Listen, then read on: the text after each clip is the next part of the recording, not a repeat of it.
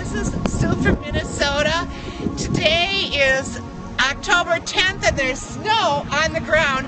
I'm standing in front of Bongard's Creamery where they have the cow.